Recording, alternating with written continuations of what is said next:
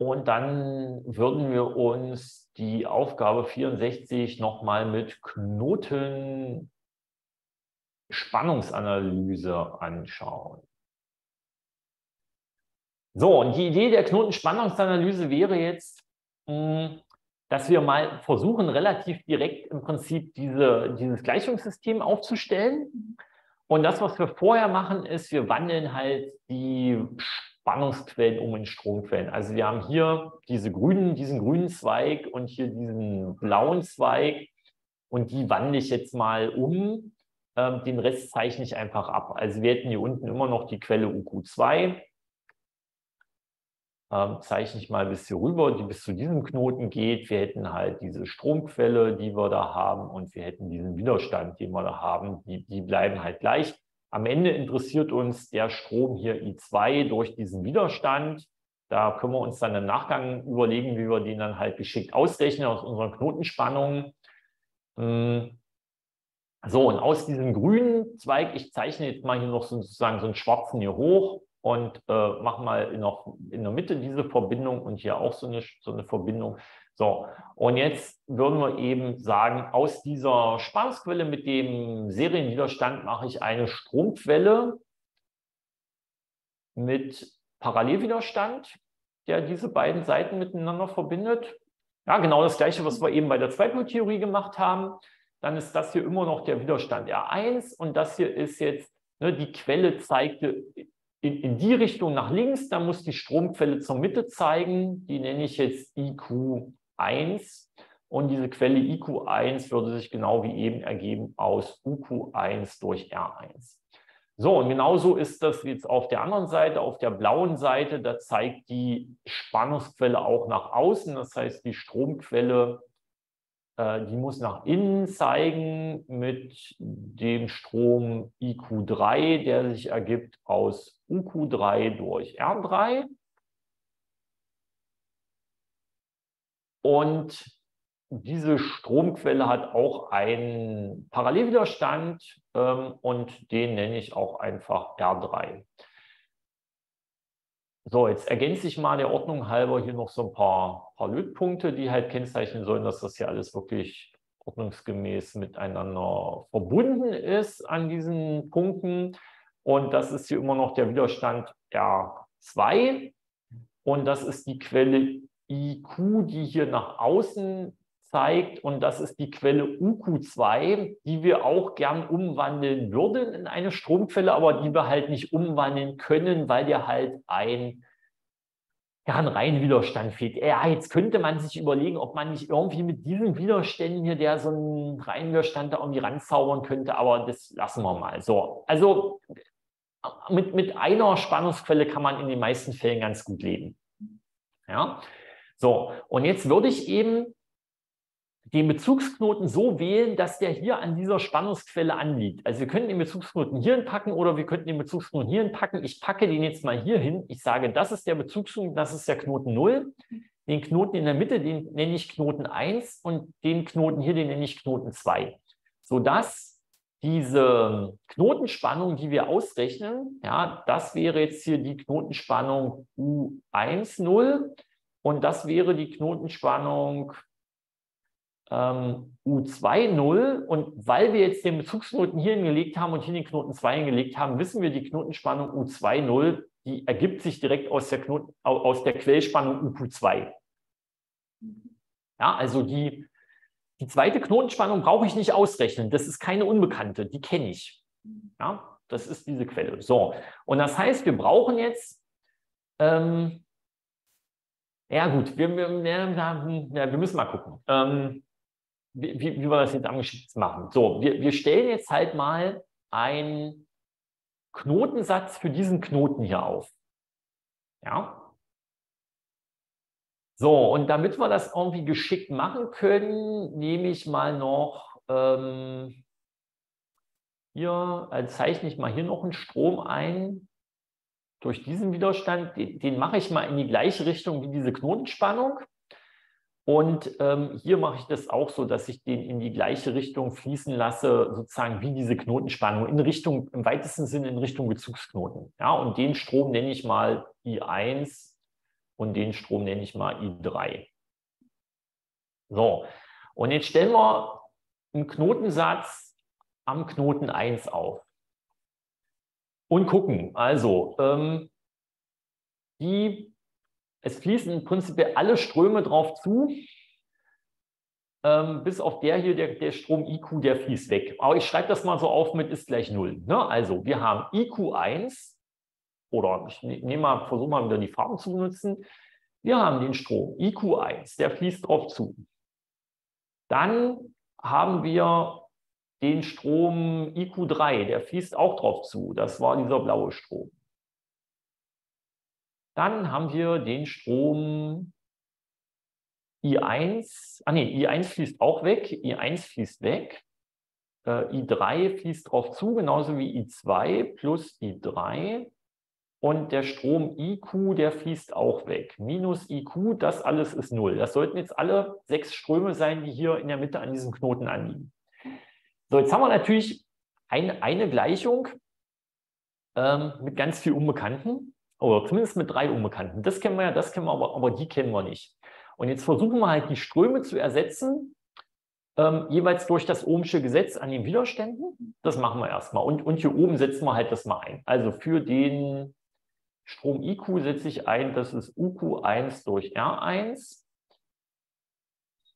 Für den Strom setze ich ein, das ist UQ3 durch R3. Einfach nur unsere Zweipoltheorie, unsere Quellenumformung. So, für I1 schreibe ich jetzt, das wäre ähm, die, die Spannung, die über diesen Widerstand abfällt, das wäre ja U10, ja, U10 geteilt durch R1. Ähm, so, dann bräuchten wir die Spannung hier hinten, die schreibe ich erstmal auf als Spannung, die vom Knoten 2 zum Knoten 1 fließt. Äh, oder nicht, die Spannung fließt natürlich nicht, die Spannung, die halt anliegt. Also vom Knoten 2 zum Knoten 1, U21. Also das wäre U21 geteilt durch R2. Und dann hätten wir noch plus U21, das ist ja die gleiche Spannung, geteilt durch R3.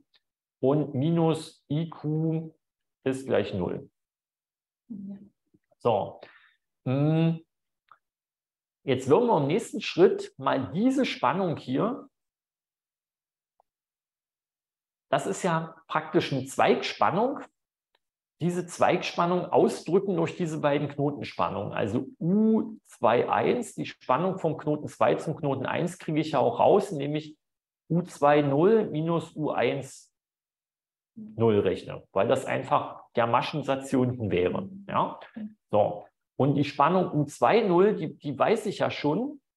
Ähm, das wäre halt UQ2 und dann minus U10.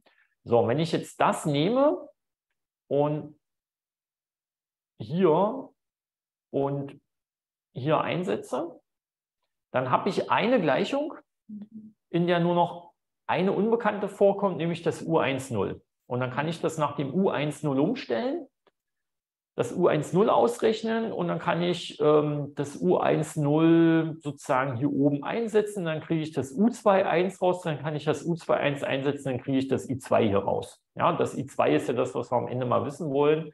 Das wäre halt U21 geteilt durch R2. So, und jetzt mache ich das. Ähm, also ich setze jetzt das hier ein, was wir gerade gesagt haben und als Trick 17 mache mach ich jetzt noch was anderes. Ich schreibe immer anstatt 1 durch R1 schreibe ich halt, das ist G1 und anstatt 1 durch R2 schreibe ich halt, das ist G2 und anstatt 1 durch R3 schreibe ich halt hin, das ist G3, einfach um mir diese ähm, unsäglichen Doppelbrüche zu sparen. So, also steht da UQ1 mal, mal G1. Dann steht dort UQ3 mal G3. So, dann steht minus U10 mal G1. Ähm, so, jetzt ja, also jetzt setze ich das ein, dann steht da UQ, UQ2 mal G2 äh, minus U10 mal G2. Ja, das Minus hier eingesetzt. Jetzt haben wir diesen Term abgeschrieben. Jetzt haben wir das gleiche nochmal mit, mit, mit G3, also plus UQ2 mal G3 minus U10 mal G3 äh, minus UQ ist gleich 0. So, und dann müssen wir das mal ein bisschen ordnen und holen mal, ein bisschen scrollern kann ich hier noch. Ähm, jetzt, jetzt sammeln wir alles mit U10 zusammen und lassen das auf der Seite und alles, was irgendwie fest ist, äh, holen wir auf die andere Seite.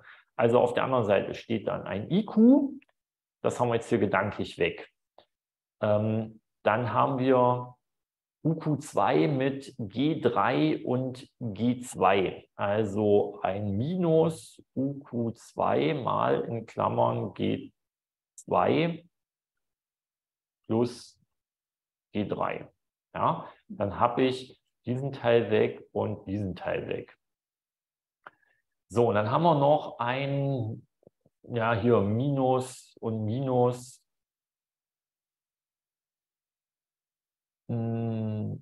Ich schreibe das mal der Übersichtlichkeit halber in den Farben ab. Minus U Q1 mal G1 und minus UQ3 mal G3.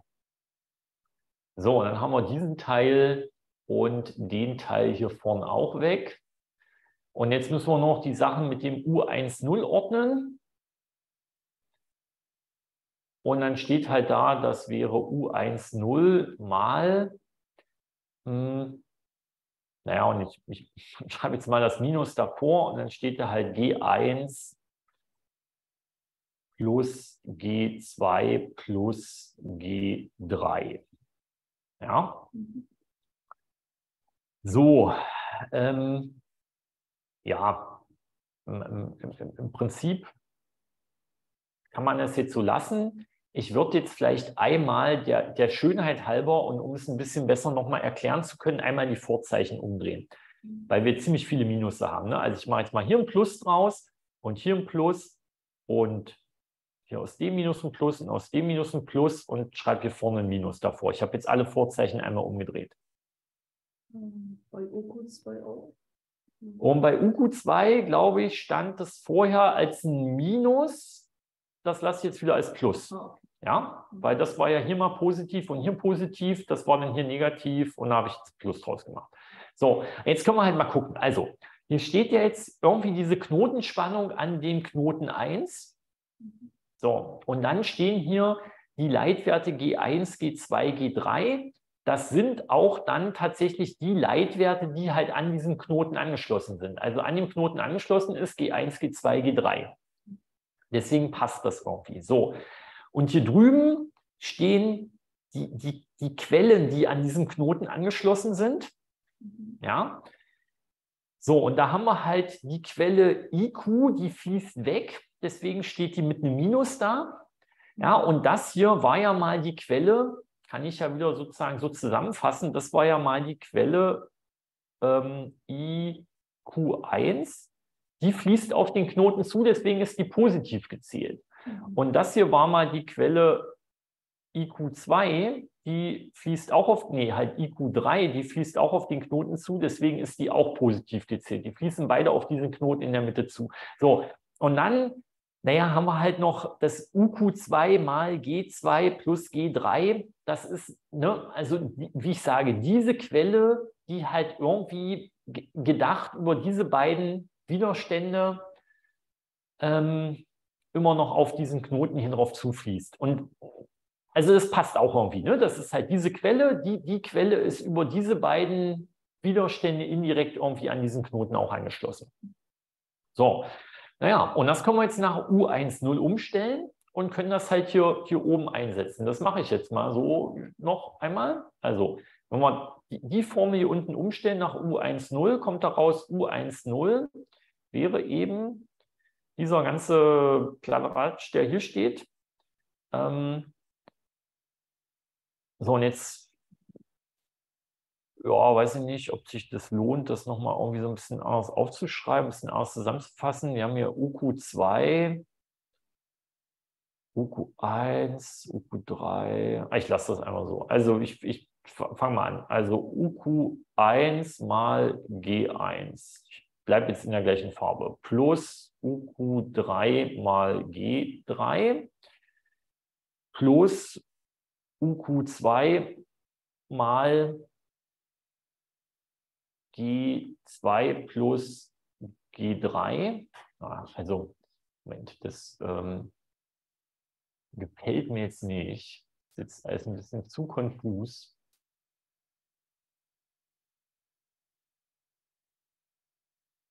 Also machen wir mal einen schönen langen Rahmenstrich. Ähm, und ich schreibe mal das unten ab, das ist einfach. Da steht G1 plus G2 plus G3.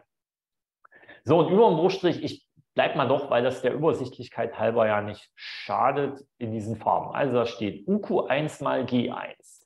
Dann steht dort UQ3 mal G3. Und dann steht da noch plus UQ2 mal in Klammern G2 plus G3 und minus IQ. Einfach das hier unten abgeschrieben. Ja, das durch das geteilt. So, das ist das U10 und das setzen wir jetzt hier ein. Und dann schlussendlich müssen wir noch, noch durch R2 teilen oder ich könnte halt hier auch schreiben, das ist ja das gleiche wie mal G2. So, und jetzt probiere ich das halt mal hier oben gleich alles irgendwie hinzuschreiben. Und dann müssen wir mal gucken, ob wir das hier ähm, noch alles miteinander verrechnet und verheiratet bekommen. Ähm, so, also äh, ähm, äh, letztendlich ist die Aufgabe wieder fies, weil wir halt keine Zahlenwerte haben. Ja, wenn wir Zahlenwerte hätten, können wir Zahlenwerte einrichten, äh, einsetzen, wären wir sozusagen schon fertig. So, also um jetzt UQ2 minus das zu rechnen, müsste ich ja UQ2 eigentlich auch erstmal mit diesem Bruch hier irgendwie erweitern. Ja, also ich müsste halt sagen, ähm, ich habe jetzt halt ein UQ2 mal G1 plus G2 plus G3. Ne, ich habe jetzt das UQ2 mit dem Nenner hier erweitert, damit das halt passt. So, dann kann ich halt hier den Nenner übernehmen, G1, G2, G3. Hier hinten rechne ich jetzt, anstatt des durch R2, rechne ich einmal G2. Ja, so, und jetzt gucken wir, jetzt müssten wir hier noch Minus rechnen. Also hier muss ich jetzt alle, alle Vorzeichen umdrehen. Ja, in dem. So, ich fange mal hier hinten an. Also aus dem Minus IQ mache ich ein Plus IQ. So, dann gucken wir mal aus dem ähm, UQ1 mal G1 mache ich ein Minus UQ1 mal G1. Aus dem UQ3 G3 mache ich ein Minus UQ3 mal den Leitwert G3. So, und jetzt würde ja hier auch ein Minus stehen an der Stelle.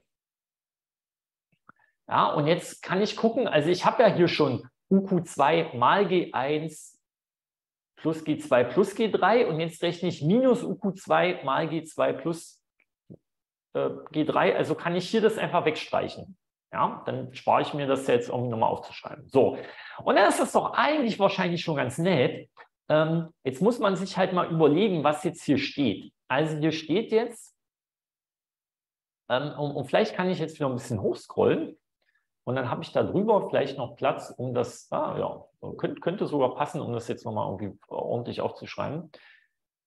Ich, ich, nehme jetzt mal grau und, und mache mal hier so ein bisschen, klicke mal hier so ein bisschen rum. Also anstatt G1 könnte ich ja schreiben, das ist 1 durch R1. Ja, und hier schreibe ich auch, das ist 1 durch R1 und das ist 1 durch R2 und das ist 1 durch R3. Ähm, das hier ist auch 1 durch R1.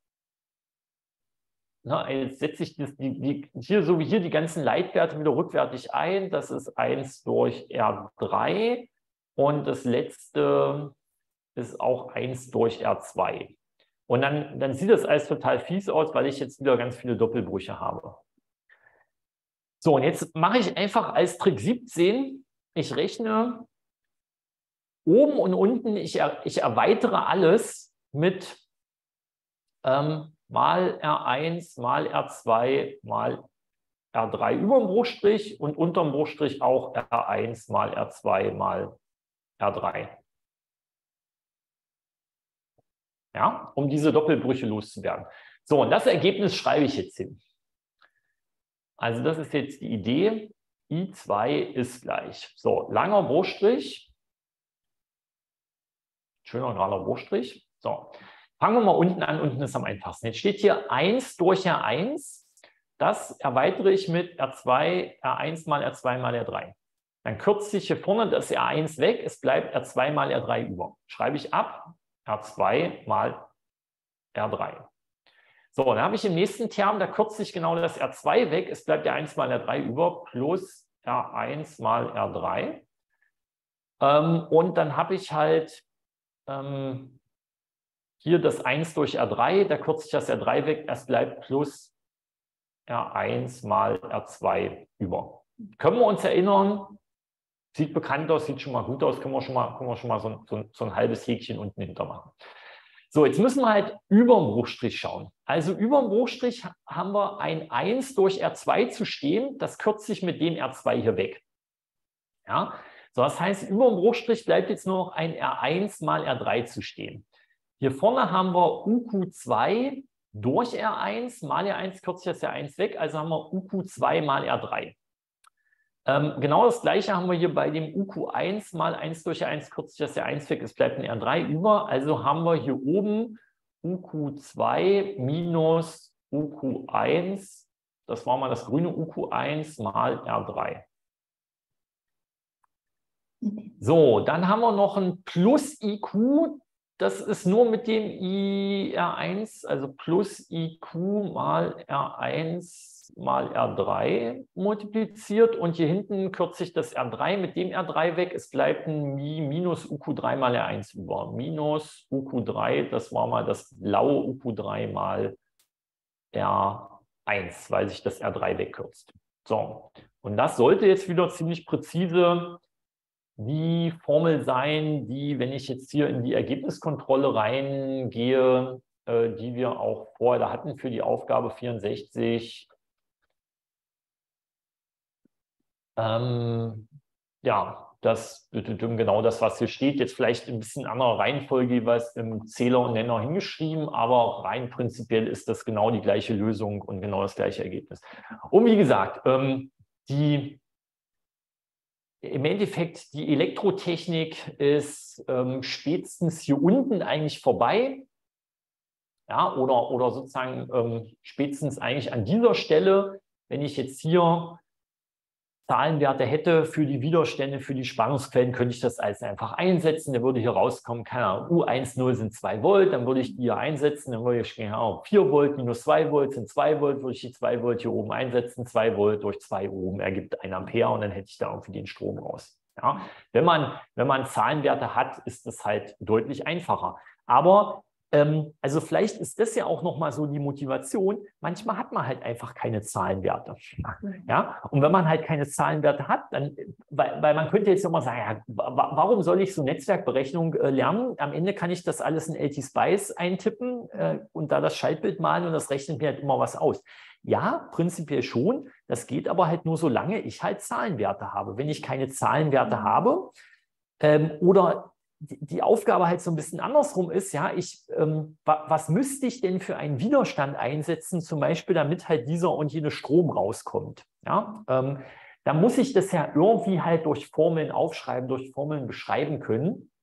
Zumindest sage ich mal für so ein, einfachere Schaltung.